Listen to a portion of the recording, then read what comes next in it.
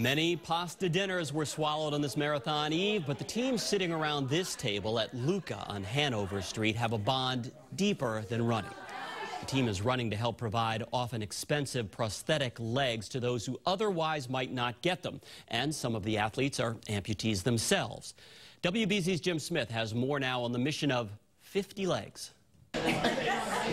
A last minute pre race dinner for a very special group of marathoners. The 50 Legs team is raising money to help amputees get prosthetic legs. Carmen Acabo is the group's director. 50 Legs helped her sister Celeste Corcoran get back on her feet after Celeste lost both legs in the marathon bombings. You know, she was initially fitted with some prosthetics that were very, very dated and um, virtually impossible for her to move in.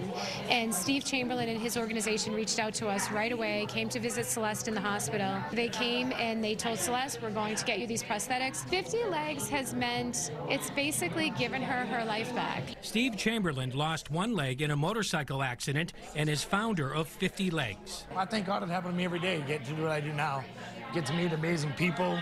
Um, the charity's been very good. I'm blessed enough to be able to help people get their lives back. Samantha Eddington is on the marathon team.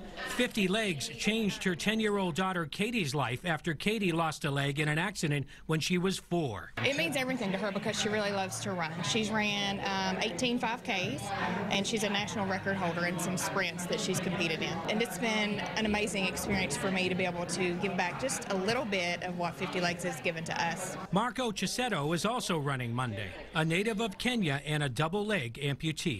I have at least what I need for now, but there are so many people out there who don't have what I already have. They have, you know, 50 legs have helped me to where I am.